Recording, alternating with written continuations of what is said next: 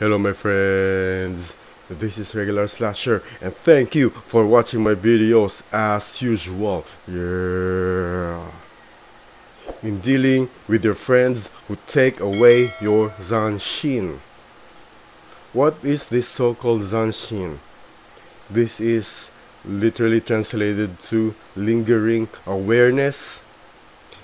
Concretely speaking, as soon as you execute a technique, you don't lose your guard. Even if you win or lose, you do not lose your guard. The mindset, at least on paper, that the mindset after dealing with a technique or another blow to your opponent, um, you are not supposed to be concentrated on the fact that you won or the fact that you lost, but your mindset should have been um, who's next? What's the next? What's the next thing that could happen? Alright, so whenever, yes, this could be one context that Zanshin thing, that this Zanshin thing could be applied in the martial arts world, but how about in real life? When people try to argue that Zanshin can only be applicable inside the dojo but not necessarily outside of it. Um, I think in my opinion in my personal experience also Zanshin is 24 7 right? It's like a video game you have and your character has this passive skill. To me the Zanshin thing the Zanshin should be included there it's like a there's a toggle switch on and off but if it really matters to you there's no such thing as an off switch for this Zanshin. Yeah. How is this possible? This is possible if depending on your support system your friends for example who are a bunch of cornballs that it's easily for you it's easy for you to get emotional and you lose your center. Losing your center or your personal frame of mind is i think the most dangerous thing.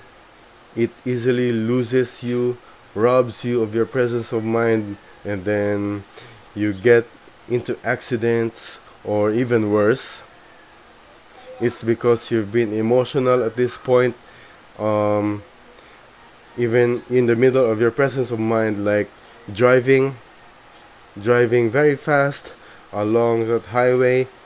Just because you see that there's no traffic you can speed away as as fast as possible until you see a small turtle on the front and then it's a very last minute you saw the turtle you tried to avoid it and your car tumbled over.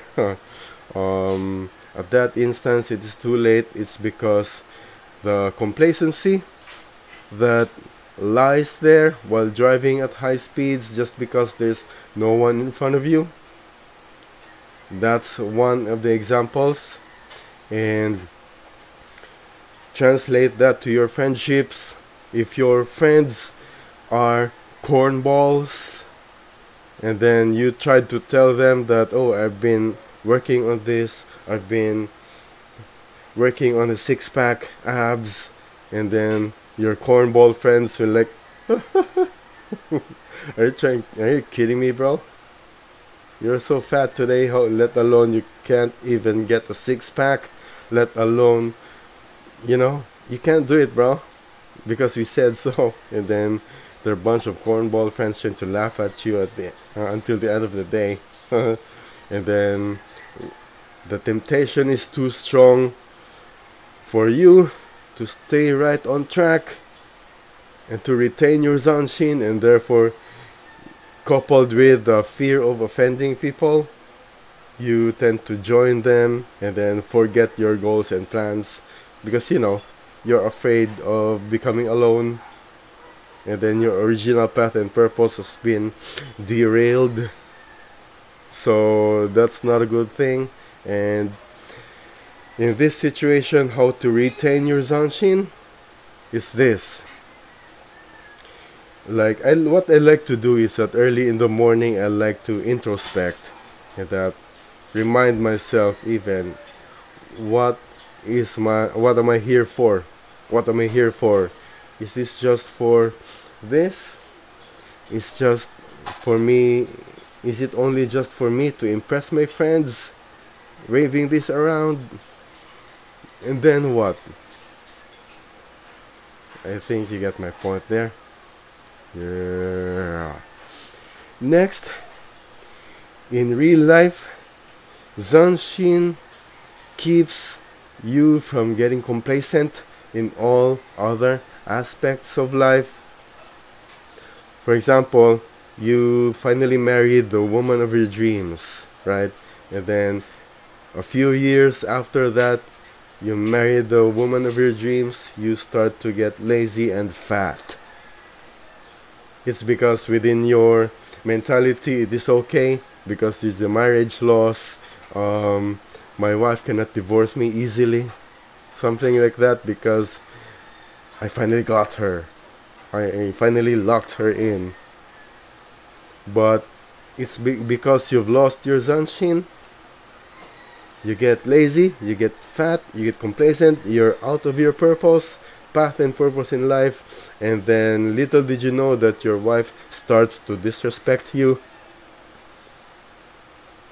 It's exactly how you keep marriages together by being on your path and purpose. I mean, if you ask me, but if your wife discovers that you are just a directionless individual, um, the disrespect will increase, you know. So one way to prevent that is zanshin, and one way to maintain your zanshin is to remind yourself of your path and purpose in life. Whatever that is, mine happens to be this. I don't know who you are, but I'm if you find it helpful, just drop in the comments section and then I appreciate your thoughts and I hope and I hope that this will become a healthy discussion for all of us, you know. Um, next, oh yes, I almost forgot the dojo politics.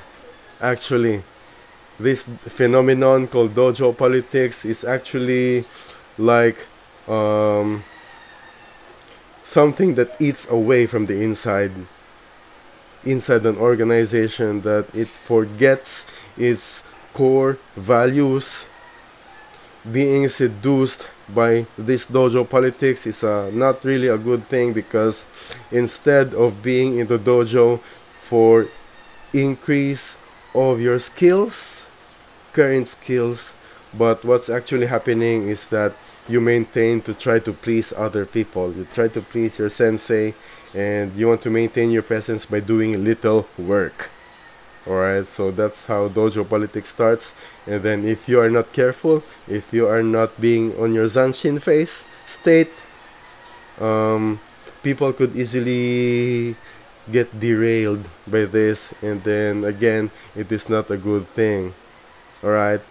So, long story short, I'd like you all to get in your path and purpose in life as early as possible. And if you do happen to be a teenager, and most of the time your friends will be a bunch of cornballs trying to get you emotional 24 7, trying to get you off track, off center. Um, I want you to remember this that you are here for a purpose and that if you happen to be a teenager you have yet to find this. And the job to do it is for you and for you alone. Yeah. That's it my friends. And if you like what you just saw don't forget to like comment and subscribe to my channel if you haven't already. And especially if you click the notification bell you'll be the very first person to know that I have uploaded a new video that contains information from me to you that could be helpful in the future. Yeah. This is Regular Slasher sending off. Thank you. Much love. And domo arigato gozaimashita. Yeah. And cut.